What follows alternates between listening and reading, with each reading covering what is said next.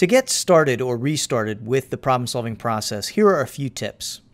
First, every time something doesn't go as expected, identify it as a problem and start the problem solving process.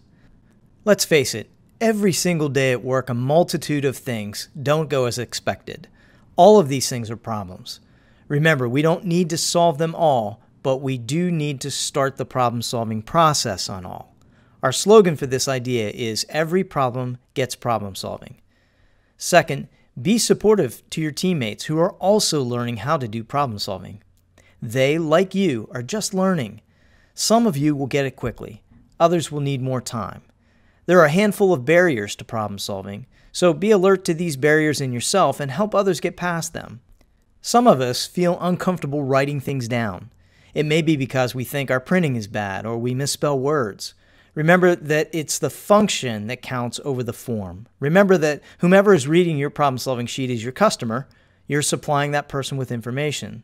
Be clear, choose clear words, write neatly, don't rush. The problem solving sheet isn't the problem solving process. You can rush to solve the problem and take your time communicating the problem.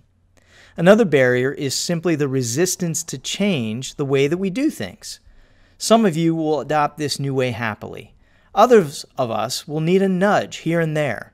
Stay positive and remember that a root cause removed successfully leads to less frustration for all of us.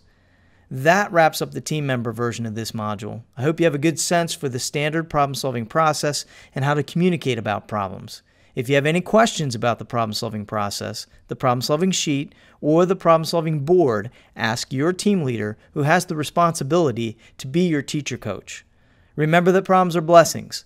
Solving them leads to safe and high quality care and service for our patients and all of our supporting customers.